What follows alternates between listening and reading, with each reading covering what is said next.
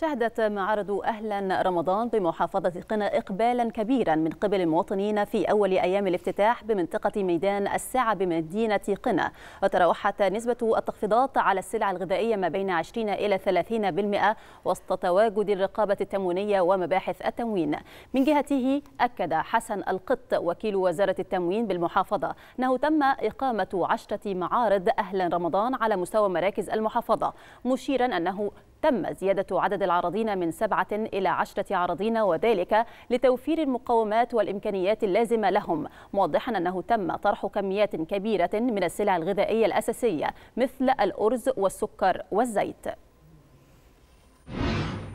يتم طرح كميات كبيرة من اللحوم الطازية والمجمدة والفراخ البرازيلي والمحلي بالإضافة إلى كميات كبيرة من الأرز والزيت والسكر والمكرونة والزيوت بجميع أنواعها وأحجامها. وده بناء على توجيهات فخامة السيد رئيس الجمهورية عبد الفتاح السيسي برفع المعاناة عن كاهل المواطن. بصراحة اشتريت حاجات كتير مثل زي الرز والسكر ولقيت الأسعار مخفضة جدا جدا على السوبرماركتات اللي بره، نشكر كل القائمين على الموضوع ده وإن شاء الله بإذن الله رمضان كريم علينا وعليكم.